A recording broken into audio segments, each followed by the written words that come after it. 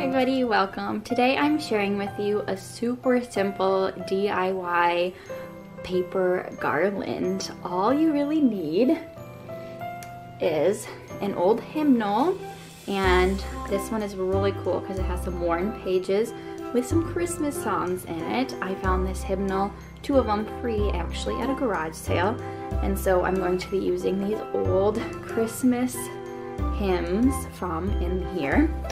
Then you need some twine.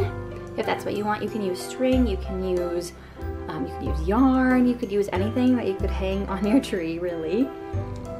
Um, I'm just gonna do tape and scissors, of course. So this is going to be a super simple DIY. I actually was inspired by Andrea Pine and Prospect Home in one of her older videos to do this. So I'm gonna share with you how simple and quick it is and be fun for your kids to do with you as well.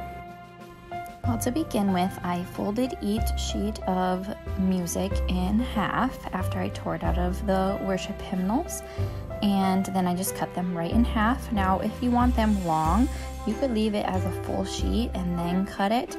Um, it's really up to you. If you want even smaller, you could cut it in half again. Like I said, it's up to you. You can make it the size you want. If I wanted to put it on my little tree like you see in the background, I'd probably cut it in half again to make it smaller.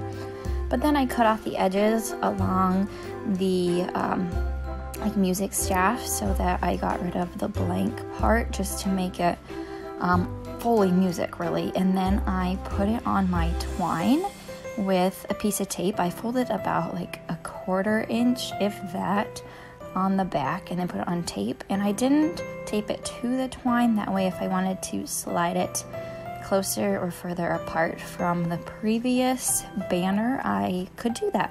So, like I said, super simple. This is a very fun, quick project, and I just love the way it turned out on my Christmas tree. I think it adds just that nice, cozy, rustic cottage feel that I am going for this season, and it just is very simple. And my Christmas tree this year is quite simple, so um, yeah, I just really enjoyed it. Hope you can make this by yourself or with your kids, or maybe your spouse will even help you, or whoever.